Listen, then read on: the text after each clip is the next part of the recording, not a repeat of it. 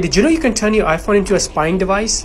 And this is how I'll show you all the steps. So step number one, we're gonna go to settings and then look for control center and scroll all the way down and look for hearing. So what you wanna do is click on plus and make sure it's added to the list of your control center right here. Now, step number two, uh, attach a listening device to your iPhone. So go back to settings, Bluetooth. So I'm gonna use AirPod. So now I can listen to everything on my AirPod. So make sure they're connected to your iPhone. Now, step number three, so this is where the magic happens. So in your phone, on your phone, uh, go to the control center and then click on hearing and make sure you turn on the live listen. It's off right now so what you want to do is turn it on. And it's gonna be like this.